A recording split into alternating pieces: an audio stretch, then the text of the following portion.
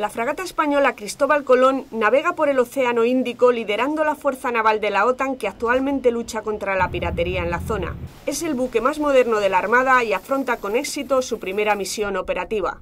La misión contra la piratería de Ocean Shield, que es la operación de la OTAN, eh, desde mi punto de vista ha sido, está siendo muy exitosa.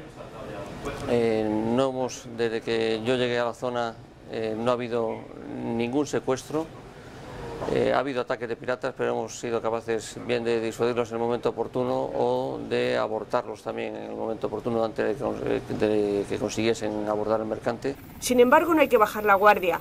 Los ataques piratas continúan y el trabajo de disuasión por mar y por aire sigue siendo de vital importancia.